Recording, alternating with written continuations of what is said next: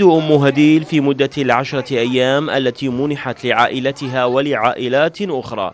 من قبل الفوج الثالث فرقة ثانية شرطة اتحادية مدة كافية لترك هذا المبنى المهجور الذي تتخذه أكثر من مئة عائلة مسكنا لها. العائلات صنعت من القصب وبقايا القماش جدرانا وأبواب لمنازل افتراضية فيما اكتفى آخرون بافتراش الأرض واستغلال أركان المبنى لأعمال منزلية مختلفة. يوميا يوميا يجون يستهترون علينا هنا ويجيبون شغلات مو غير شغلات يذبون علينا إحنا رحم الله على والدين يجينا ويساعدنا إحنا المواطنين. كل شيء ما عندنا ترى.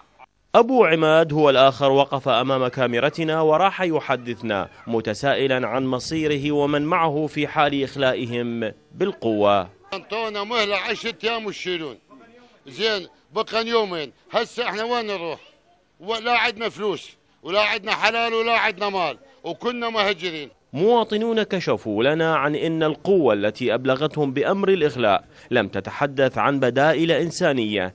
كإعطائهم مهلة أطول من العشرة أيام التي ستنتهي خلال 47 ساعة القادمة.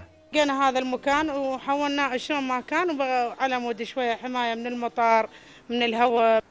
مع تفاقم أزمة السكن التي تمر بها البلاد تقف عائلات عراقية تحت خط الضياع مطالبة بوطن صغير ترعى تحت سقفه أمنيات البقاء والعيش الكريم.